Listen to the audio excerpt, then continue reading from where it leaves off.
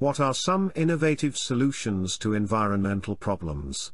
Some innovative solutions to environmental problems include renewable energy sources, vertical farming, and biodegradable materials.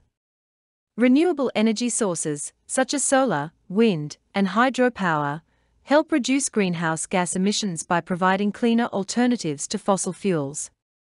Vertical farming is an innovative approach to agriculture that maximizes space usage and reduces the need for harmful pesticides and fertilizers. Biodegradable materials help address waste management issues by breaking down naturally and reducing the environmental impact of single use plastics. For instance, the use of solar panels on residential and commercial buildings can significantly reduce the reliance on fossil fuels for electricity generation, decreasing the overall carbon footprint.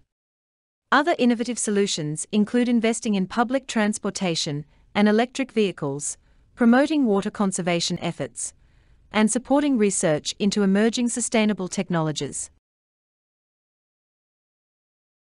How do government policies impact the environment? Government policies can have a significant impact on the environment through regulation, investment, and public awareness campaigns. Government regulations can enforce environmental standards and restrictions on industries, reducing pollution and encouraging sustainable practices. Investment in infrastructure, research, and development can promote the adoption of environmentally friendly technologies and practices. Public awareness campaigns can educate citizens about environmental issues and encourage responsible behavior.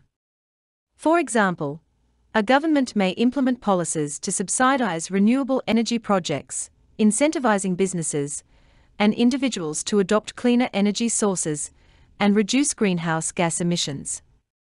Conversely, if governments do not prioritize environmental concerns, they may perpetuate harmful practices through a lack of regulation, inadequate investment in sustainable technologies, and insufficient public education on environmental issues. What are some ways that individuals can reduce their carbon footprint? Individuals can reduce their carbon footprint by conserving energy, using public transportation or electric vehicles, and adopting a sustainable diet. Conserving energy at home, such as turning off lights and appliances when not in use, can reduce overall energy consumption and greenhouse gas emissions. Using public transportation, or electric vehicles instead of traditional gasoline powered cars can minimize transportation related emissions. Adopting a sustainable diet, including reducing meat consumption and opting for locally sourced, organic produce, can help lower the environmental impact of food production. For instance, an individual might choose to bike or walk to work instead of driving, which not only reduces their carbon footprint, but also promotes physical activity and overall health. Other ways to reduce one's carbon footprint include participating in recycling programs, using energy efficient appliances, and supporting businesses that prioritize environmental sustainability.